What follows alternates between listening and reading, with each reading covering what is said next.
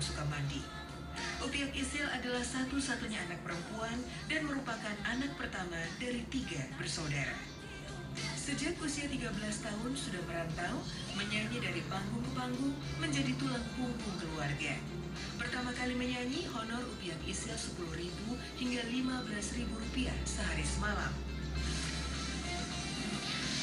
kalau dulu kan kita nyanyi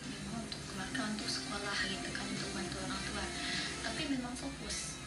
Padahal di umur segitu dulu Upia mestinya Upia kan main-main tahu ada aja minta apa yang butuh. Dari sekian banyak koleksi sarung dan daster, Upiak Isil ternyata memiliki sarung keramat yang memiliki nilai sejarah dalam karirnya.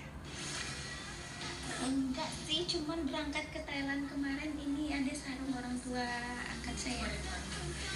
Ini sampai di stasiun TV terfavorit di Malaysia juga saya pakai ini. Cuman kenapa saya suka pakai ini? Karena eh, beliau pakai ini eh, untuk ini untuk tidur malam pakai ini.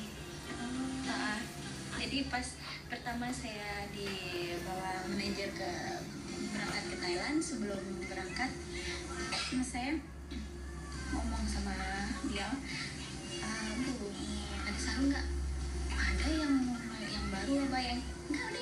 aja gitu jadi memang pas pakai ini memang lain